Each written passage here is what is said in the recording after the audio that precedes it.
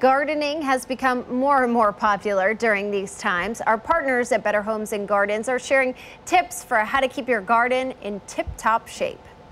First off, deadhead perennials. As soon as flowers are spent, cut them off, which keeps the plant looking tidy and also prevents the seeds from spreading in your garden and becoming a weed problem. Also, pinch back late blooming perennials. Do this at least once in early summer.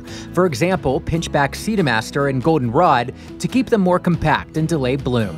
Now, the rule of thumb is to pinch plants back before the 4th of July. Don't forget those dead branches. In summer, when trees are leafed out, you can easily spot them. Trim them off when you see them. Of course, control those weeds too. This may be the least favorite summertime chore, but it is important. Reduce the time required for weeding by making it a regular task. Once a week, just walk your garden with your favorite tool and scratch out weeds. Also on the list, fertilize your lawn. By June, the fertilizer that most homeowners apply may be wearing off, so it's a good time to apply more. Fertilize your annuals and vegetables too. Fast growing annuals and vegetables are typically heavy feeders. Every couple weeks, apply a dose of fertilizer to keep them actively growing and healthy. And finally, raise your mowing height. During the summer, mow your lawn at the highest setting. That's because taller grass is more drought tolerant and will stay healthier in that summer heat.